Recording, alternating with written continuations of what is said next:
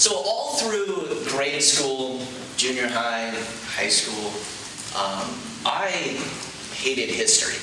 I, I really did, which was strange because I really loved school. I was, I was one of those kids. Um, but even at a pretty early age, I was heavily focused on the future. I, I, I loved the idea of it. I was definitely into technology and gadgets and stuff, and that was all going to get better in the future, right? Um, also, the future was where I was going to live and exist. And I had the chance, in theory, to help improve it, make it better, make that awesome future that I could picture. And history, not so much. With all my other subjects in school, my teachers did a good job at explaining to me why those were important to me in order to help me create that future that I wanted. You know, math and science and grammar and all that. But for history, they always fell back on this saying that those who don't learn from history are doomed to repeat it. I thought that was a terrible saying because it first it was it, it, it, never really inspired me to love history for sure but also it was so focused on just avoiding the bad and I, I really wanted to help create the awesome. Like that's that's what I was focused on. But sometime soon after high school as I became a young adult my perspective changed dramatically on history.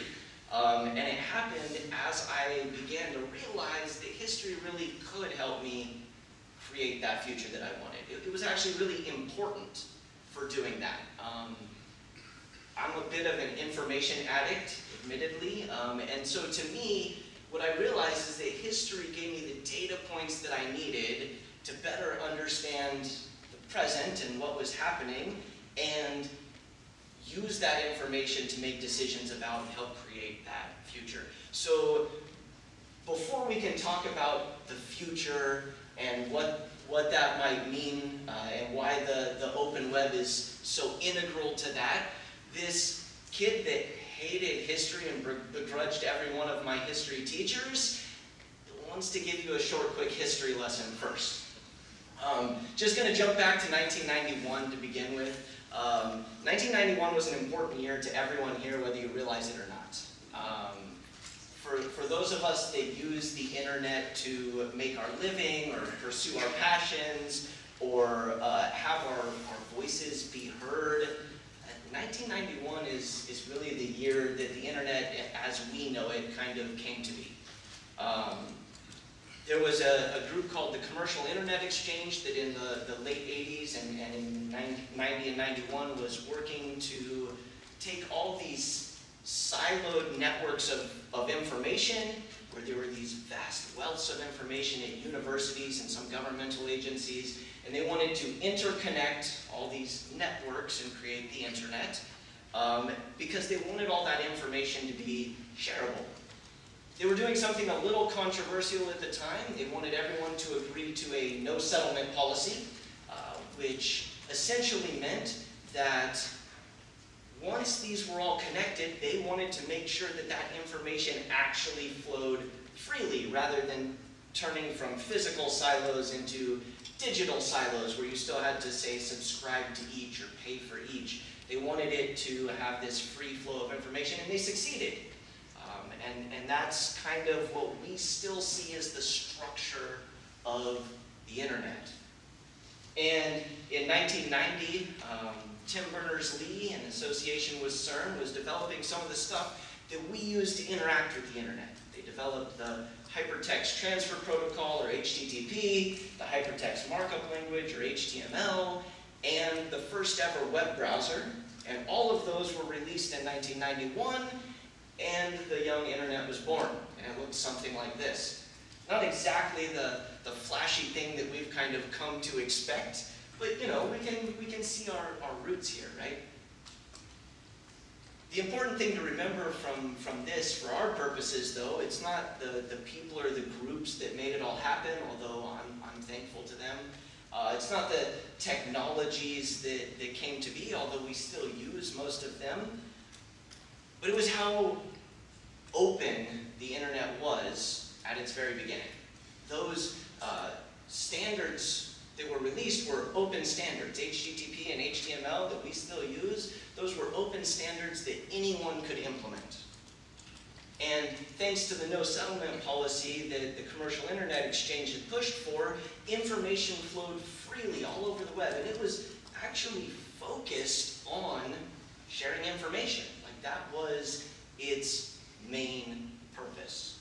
And seeing that that's where it started, we'll be able to, to better understand how it's changed over time as we look at where we are now and where we might be going in the future but before we leave 1991, that was kind of an important part of my story as well. This wasn't a, a, as I look back on my life, this is the year that really kind of put me on the path that ultimately brought me here. Took me into programming and open source and ultimately advocating for open source like I'm doing now. Um, I was only nine at the time, so going into fourth grade, so it might seem strange to say that like the direction of my life was set at nine years old. Uh, but it's okay that that sounds crazy because nine-year-old me didn't really understand what was happening at the time either. Um, as a matter of fact, if you could travel back in time and ask nine-year-old me what was so awesome about 1991, I'd probably talk to you forever about this. Okay? The Super Nintendo was amazing, so much better than the original Nintendo. The, uh, the, the, capabilities, the, the, gameplay became so much smoother because it, would, it had uh, so much more power in it, and, uh, and the graphics. I mean, look at these graphics, right? They're amazing. Who recognizes the game?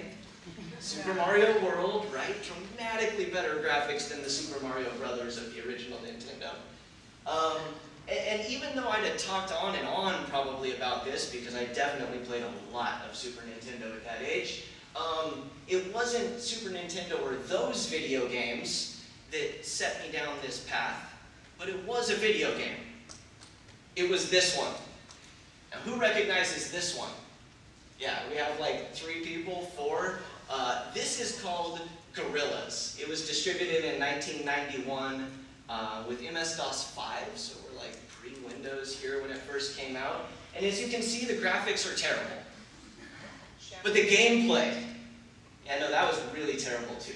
Really but I played a lot of this game too. Why would I have played so much of this game when I had the Super Nintendo in all its glory, right? It was because of this. See, Gorillas wasn't distributed to showcase what computers were capable of as far as gameplay or graphics.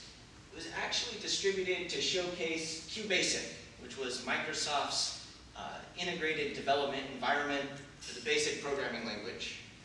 So it was distributed as source code. It was open source.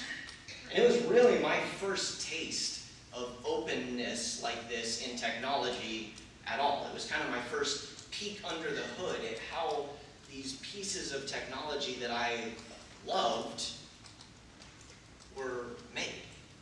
Um, I was fascinated by it. I would, the way that you ran it, you would open the development environment, you would open the source file, you'd hit Shift F5, which was the shortcut keys to compile and run the game, and you would play it. Every time I would open and see all this text, I'd scroll down just fascinated that somehow these words that I didn't understand turned into this game. Mediocre as it may be, that fascinated me. And soon that fascination turned into curiosity.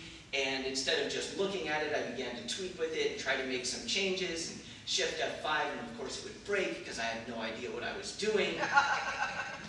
but given time, I slowly began to learn to program in this way And eventually, I made dramatically modified versions of this game that me and my friends would play, um, and it's really how I learned to program. Nine-year-old me was not capable of writing this game. I didn't know the, the language. It wasn't easy to learn programming languages without, without some sort of sample like this. I would have had no way to do that. You couldn't just Google it and watch a tutorial, right? Um, so instead, I was able to take what someone else had built, these Microsoft developers that had, had built this amazing thing, and I was able to learn from that and kind of pick up from there and build on top of it. And that, that concept of learning from what those before us have done and building on top of it is really how humans have made progress forward through all of history. It's certainly not a concept that I came up with at, at nine years old, right? It dates back at least to the 12th century, uh, early 1100s. And you thought my history lesson was only going to go back to the 90s because internet, right? Um, Bernard Chartres, a philosopher, a, teacher at the time, is, is recorded as, as teaching his students and saying that we, the moderns, we're not better than the, the ancient philosophers just because we can see and understand more. Instead, he would say that we're like dwarves perched on the shoulders of giants. Right? We're, we're, we're seeing further because we're standing on their shoulders. And if you've heard that saying, roughly, um, but you have no idea who Bernard of Chartres is, it's probably because you learned it like I did uh, from Isaac Newton, some 500 years later, who penned the same in a letter to another scientist, Robert Hooke, saying, if I've seen further, it's by standing on the shoulders of giants. And we look at someone like Isaac Newton, and we see them as a, a bit of a giant. I mean, he gave us Newtonian mechanics, so we understand how planets move. He gave us calculus, as much as you may have hated that class in school, like before him, no calculus, after him, calculus, and we use that for everything that we consider modern. Skyscrapers and jet engines, they, they function, they, they stand, they fly because we use calculus to help make sure that they do. Um, but he was saying that he's not a giant, he was just able to stand on their shoulders. He was able to build on the progress of those that came before him. And historically, we see these big blips in our progress forward, in, in our understanding, in our invention, every time we get better at sharing information around when there was uh, the, the, first consistent language, written language, we see a jump. Uh, when we started writing on paper and could store that in libraries, we see a jump. When the printing press came out, we see big jump as that information was disseminated all over the place. As a matter of fact, that's the time that Isaac Newton was born into. It's amazing what he was able to do by being able to access the information of those that came before him. But we've gotten better still. We developed computers and were able to digitize all that information and we shrunk those down until we could set them on our desk and then carry them with us and now keep them in our pocket. And we developed the internet just a few decades ago. And it has let us distribute that digitized information, much as the printing press let us distribute paper. And the internet is the single most efficient information sharing tool that has ever existed. Ever. Like the, the potential that that has for helping all of us as people move forward and make progress and do amazing things is mind-blowing. I mean, just in the last 28 years that it's been around, look at how far we've come in technology and in, in medicine and our understanding of our, our bodies and our solar system. And in that way, like, of the internet, it's, it's strong. Like, it's amazing. It's so it has so much potential and it's so powerful. And the future is bright. Like the, the chance that it has to improve life for everyone is awesome. And I guess since it's the internet, right? Yes. But if I just talked about how great it is and how the future could look amazing for us using it, and I didn't talk at all about the risks that it faces, I feel like I would be being irresponsible. So I do think that there are some dangers that are posed to the internet, to this awesome tool that we have for sharing information, and this thing that we, probably many of us, use to make our living. Who makes your living tied to the internet in some way? Yeah, I mean, this is one of those conferences, right? I think that the biggest um, threat that the internet faces is closed systems. When, I, when I say closed systems, what I mean are these systems and tools that we use, that we build on, that we rely on, that are owned and controlled by other people or companies. Right? So things like um, Twitter and Facebook, right? We use those constantly, but we don't really control them, we just get to use them. We can build on top of them. We may rely on them to different degrees, whether it's to keep in touch with family or whether it's to market to customers that we may not otherwise be able to reach.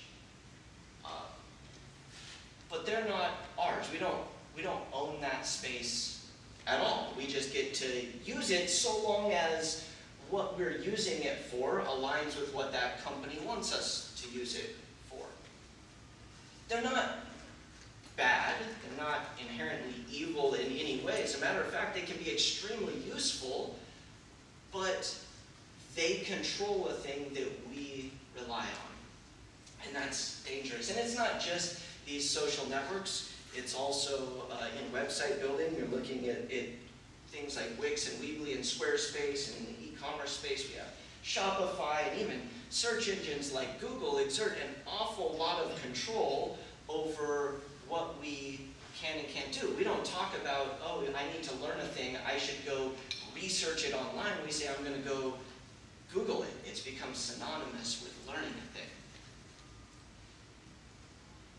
The problem is, as I talk about these closed systems and the risks um, to people that, like us, that work with the internet every single day, it seems like we're all so close to it that it can be hard to actually see the root of the problem.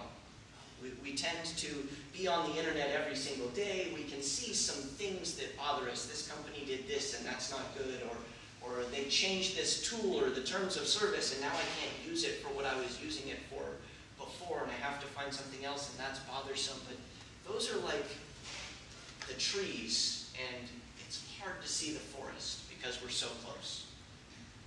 So I want to step back from the internet talk about a, a different um, industry that's walked along this same kind of path, starting out very open. And as their tools improved and they got some, some closed versions of those tools, it was improving their lives. It was making it better. It was kind of in the state that we're in now in the internet, um, where there are all these great tools that are improving our lives, but they crossed another line where it went from just using those tools to improve their lives to relying on those tools for their livelihoods and not having alternatives. And it completely changed the dynamic. I want to talk about farming. A long time ago, lots of people farmed. Lots and lots of people, right? Because we weren't particularly good at it. But as we got better at it, less people had to. And we started developing better and better tools for it, whether it was you know, better metals, starting to, to develop the, the plow, um, those kinds of things. And we got better and better and better at it until we started going through things like an industrial revolution and getting things like tractors, and that dramatically changed the face of farming. Far fewer people needed to farm, other people could go off and do other things, which I actually think is great that's progress forward, right? Some of those people that maybe didn't have to farm because tractors made us better at it, and maybe one of those went on to invent, invent the computer. I have no idea. Um, but allowing people to do other things is, is great. And farmers' lives got better because of tractors, right? Following a plow behind horses or oxen, that doesn't sound near as good as sitting on a tractor and driving up and down your, your field, right? And as we hit the technological revolution, those tractors improved, much like our cars on the road have improved. They, they started getting smarter, and now we have these, these tractors like this um, that are quite honestly modern marvels of engineering. You get in a tractor like this, and first of all, that farmer's life is way better because that's an air-conditioned cab that they're sitting in, right? Like, that's got to be good. Now, don't get me wrong, farming is, is still uh, extremely strenuous physical labor, but being able to get in an air-conditioned cab when you're doing tractor work, like that's, that's an improvement on life, right? And when you get in that tractor, it doesn't use a key to start. It has a tablet inside it, and you tap it, and it wakes up, and you tap the start button, start icon, I guess, um, and it starts up, and you can say, I want to level my field. And it maybe has GPS coordinates for your field already programmed in it. Um, you probably have a reflector set up so that it can laser level your field for you, automatically adjusting the blades to cut it perfectly level. And that's not just cool to have a level field, that makes farmers better at what they do. That field will yield more because as they flood it with water, every plant gets the same amount. Like this has improved their lives It's made them um, more efficient. It's, it's made them more profitable, and it has made their lives um, more enjoyable. Now, sure, when you first get in this tractor, once you've bought it and you tap that screen, you're tapping through some terms of services, and I agree, and blah, blah, blah, and something about only licensing the software but owning the tractor, right? But we all do the same thing on our phones, and none of us really read any of that. Um, didn't matter because the software was so great. It, again, it was improving their lives dramatically, much like these tools that I've talked about are improving our lives. Facebook lets me talk to people that I wouldn't otherwise get to talk to. And uh, you know, some of these other tools let us build sites and, and e-commerce sites that we could never do before. But at some point, you could no longer run an effective modern farm with anything but these tractors. And that's when things started to get a little bit more difficult for farmers. Um, tractor would break down, but you could only take it to an authorized service center. You couldn't fix it yourself. Not because they weren't capable of it, but because if you changed out a part on the tractor, the computer would say, I don't recognize the serial number on that part, and it would just shut it down and say, contact an authorized representative to come fix this problem. Without the computer functioning, you know what this tractor is good for? Nothing. It's like a paperweight, because, yeah, really big paperweight, yes, but um, it, it can't even start.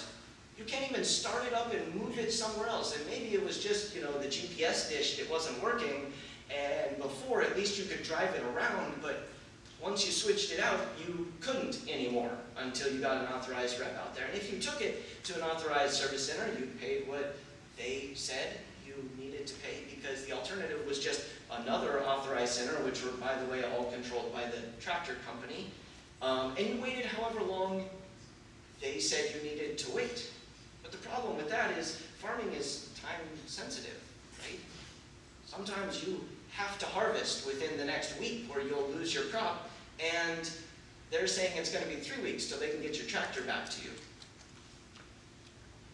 And some farms actually went bankrupt because of this. They, they couldn't make it. But other farmers, as people often do when they feel backed into a corner, they got really creative and started trying to fix their tractors anyway, you know? I couldn't just swap out the GPS dish for, with this other tractor that I don't need now, but maybe I can break into the computer and make it recognize it. And that started by having to custom make cables that would work with these proprietary jacks on the computers. And once they did that, they couldn't get into the software, so they, they hired hackers and started working with this group of hackers to crack through the protection layers in the software because they, it affected their ability to make their living. And pretty soon, farmers were trading around cracked versions of tractor operating systems so that they didn't go bankrupt.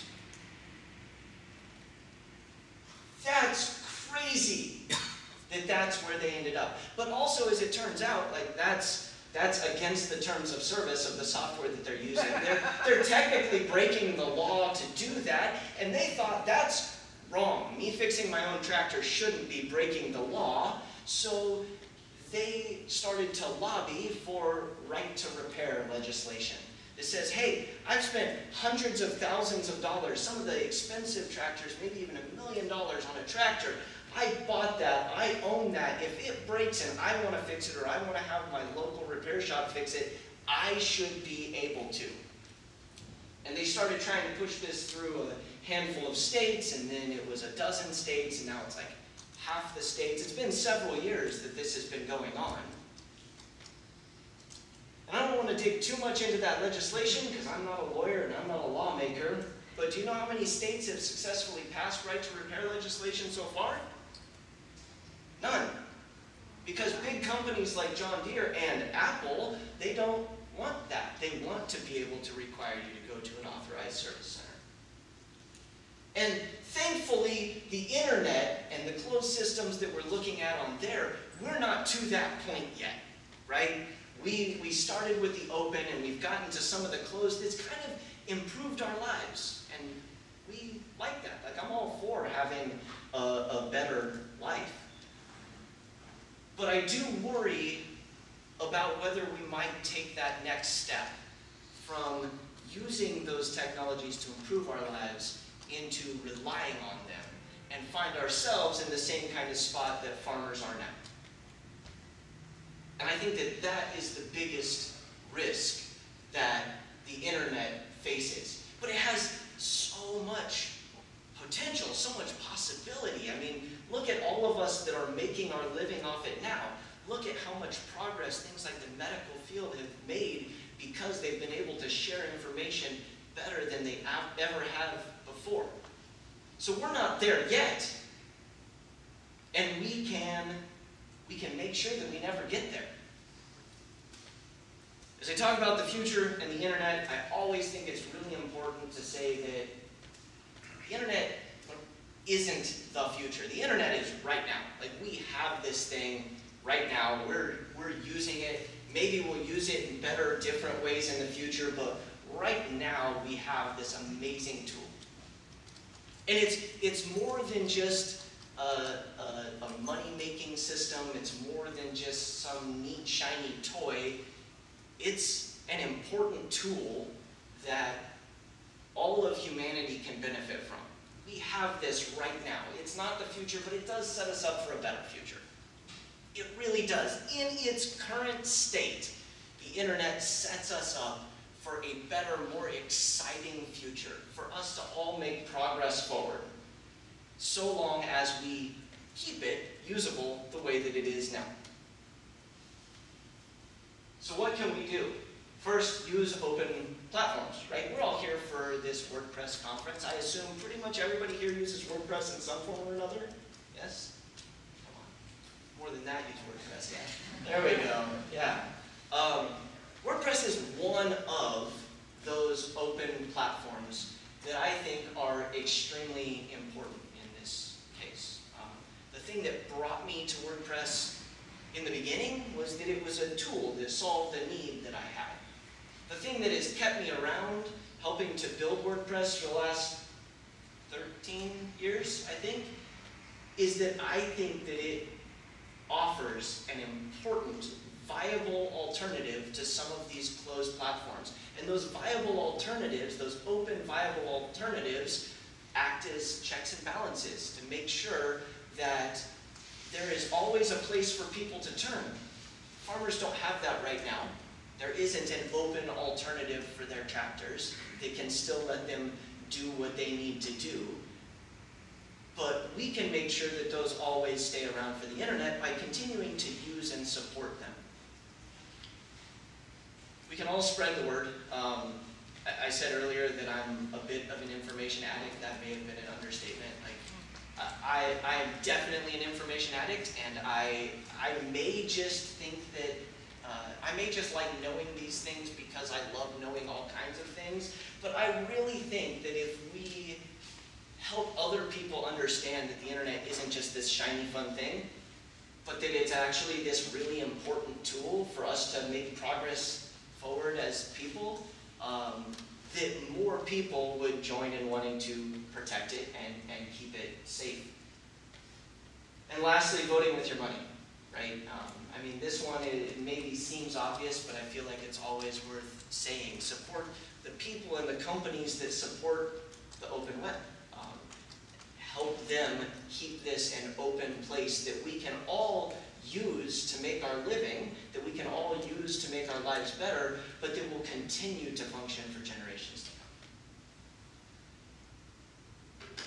I'm Aaron Campbell. Um, I worked for GoDaddy, uh, specifically focusing on ways that GoDaddy can help make WordPress better for everyone as this open, uh, viable option.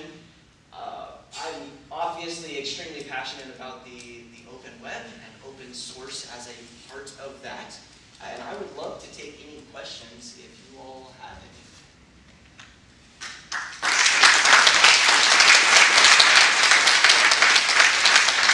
Hey, there are, there are microphones down the middle. Uh, if you don't want to go up to a microphone, I can repeat the question so that people can hear it, as long as I can hear it.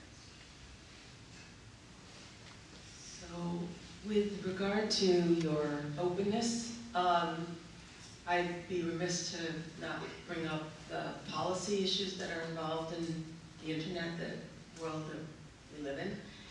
What are your thoughts on net neutrality and all of the aspects of that that Um, facing now, and which providers should we be supporting that support net neutrality? Always love getting the net neutrality question.